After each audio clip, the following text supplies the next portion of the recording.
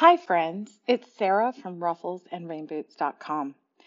So, we are starting another whole big round of people who have taken patterns and used them in ways they shouldn't have. And it's a frustrating experience. So, I thought what what I could do is just share with you the process of how I create patterns. It's a pretty lengthy process.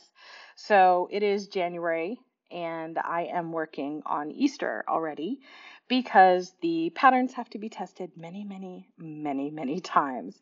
We also test different fabrics. We also test different methods of both sewing and non sewing. And, you know, I just thought that I would share not only for everybody who's awesome, but also for those people who are less than awesome and just purchase my patterns, repackage them, and try and sell them.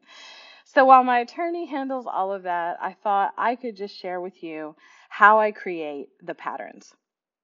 So what I'm doing here is just drawing.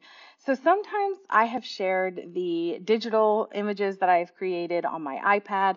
I like to sketch out on Procreate because it just becomes a little bit neater um, than this, but you can see I am not doing anything in proportion. I'm just sort of getting an idea of what would be a cute little fellow. So I drew one of these about two years ago and never got around to it because if you don't know him, Dwayne King is an amazing guy, but he made like a hat pattern and I didn't want to step on his toes back then.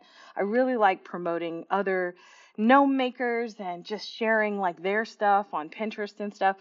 So I never published anything with a top hat. Do I have a top hat pattern? Oh yeah, I have two.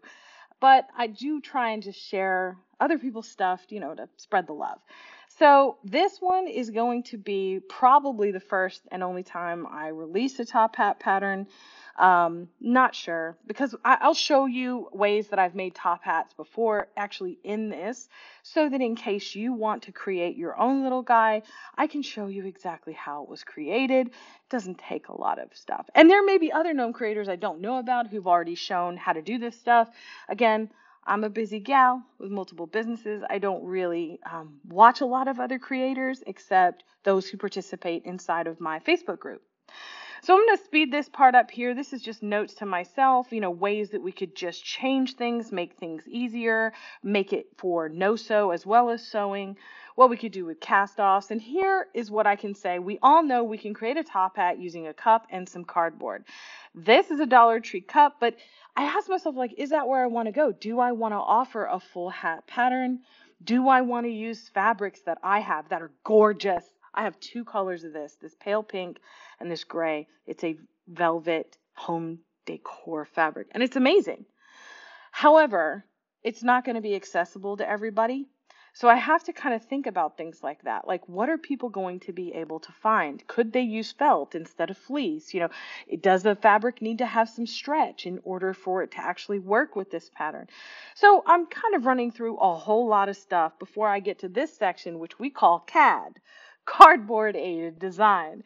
So this is start, you know, where I start figuring out proportions. Like what kind of size do I want to make? What is good for shipping for all of my sellers uh, as part of my audience? You know, what can I do to increase the stability of things? That is what I'm doing here is just making additional notes. What words do I want to uh, um, sort of uh, want people to notice when they see this entire pattern? And then I start and decide the fabrics. Like it has to end up being accessible to everybody, and I'll put my pretty stuff away. This entire process, just to get to this far, took me 30 minutes. That's it. And now we start the other part of the process, right? This is the part of the process. This is actually how fast I'm cutting. Um, this is the part of the process where I make a lot of mess, to be honest. My husband came home this day and went, what happened? Your craft room was so nice. And, you know, I told him, oh, I'm starting a new pattern. So here you can see I just start tinkering. And I'll just tell you that didn't work. so I have to continue tinkering. So in order to not waste fabric, I'm just going to cut a little bit off. I'm going to repeat the process. And guess what? That also did not work. So I'm going to cut it up, repeat the process. And this is a long and arduous task. And keep in mind, this is the first ta- take at it, right? Like this is just the first one. So once I have an idea of what I'm actually going to do, then I start working on the actual patterns. I'm going to go ahead, I'm going to mock up each piece. And then what I start looking at is the proportions of everything. So sometimes I'll create a really big body and then I'll have to alter it. Here's the body portion. The reason I would be altering this portion is because a lot of people are not going to want to put three cups of polyfill inside of the body. It will be a very large gnome. It would be a very heavy gnome to ship. So you'll see me here. This I'm already going to start cutting this down. I guarantee you I will cut it down again before I ever publish this pattern. I also have to make notes about things like stretch. Where are, is the stretch going to be? You know, are these ears going to fit my proportions for the hat and the body?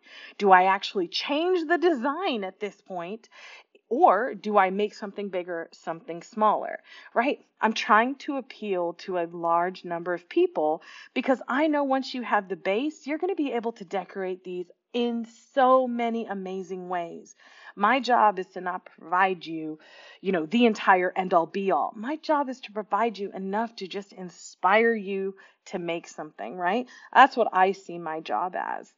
So once I start getting an idea of proportions, then I start narrowing things down. You can see now we're only at a half inch. You can see I'm making notes over here on the side.